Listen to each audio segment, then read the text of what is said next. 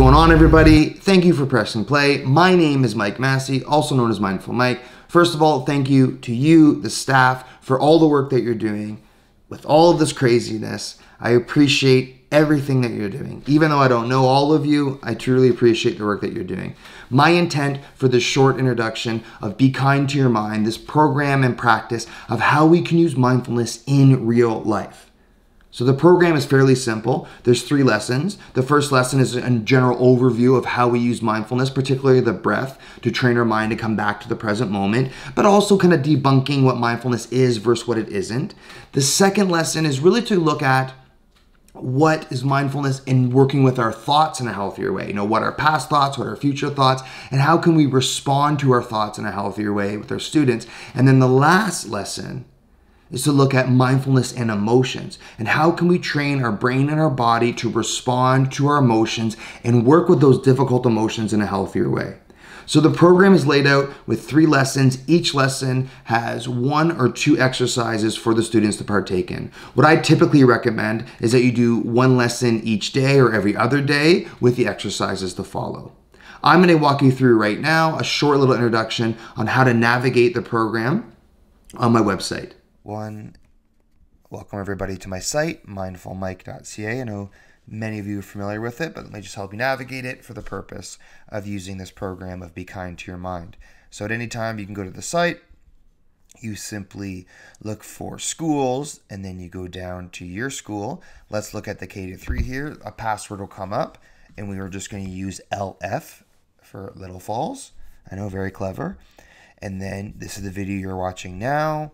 So then we have part one. So like I said before, there's three parts. Each part has a lesson and one to three exercises depending on the group and the age. So here you see part one followed by lesson one, mindfulness and breathing. You then navigate down and press play. I will come up and talk for a couple of minutes about what mindfulness is and how you can use mindfulness. And then after we are done the lesson, I suggest that you do at least one of the exercises that day. So, for example, uh, this exercise is four in, four out. It's under three minutes long. Again, you would press play, and it's fairly easy to navigate. Uh, again, there's uh, three exercises for this uh, actual unit or part. So, there's exercise two, which is roller coaster breathing. Once again, the play is in the center and then we move forward to exercise three, rocket ship breathing. Now, once again, I recommend that you do lesson one and at least one exercise on day one. And if your students are enjoying it or you feel like you can do multiple exercises, have at it and do as many as you see fit.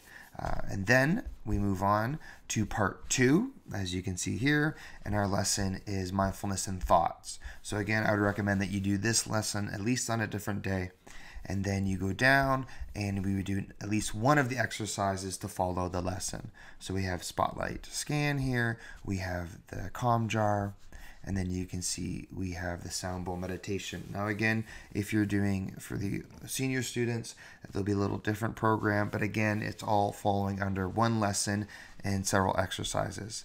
And then part three, the final part, we go into mindfulness and emotions. And again, we follow by some exercises. There's a dragon breath, stress ball breathing, and then my book, Andy Gets Angry.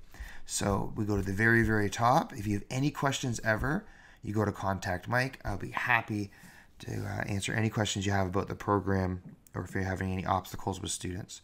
Thank you so much for what you do. Welcome back. As you can see, it's fairly easy to use. Most importantly, if you ever have a question about a practice or what is next with some of your students, maybe that one group of students is really taken to the breathing exercises or the thoughts, and you're like, hey, Mike, how can we deepen this or what's next?